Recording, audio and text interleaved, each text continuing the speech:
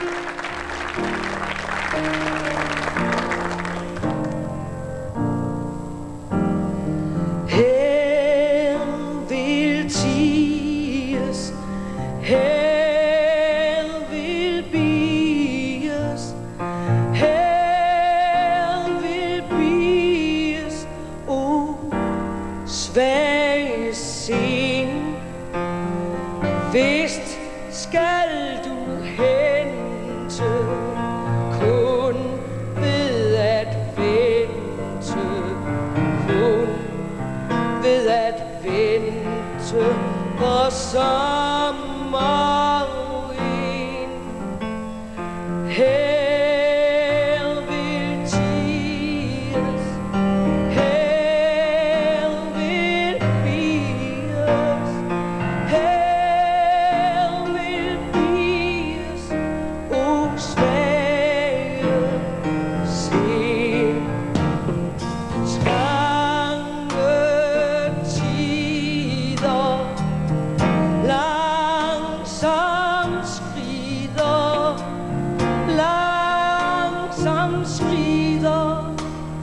de har den art Dagene længes Vinteren strenges.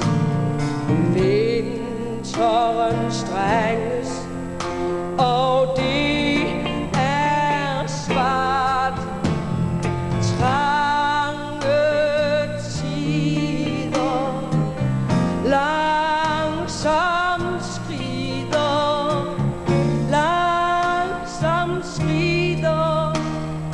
high.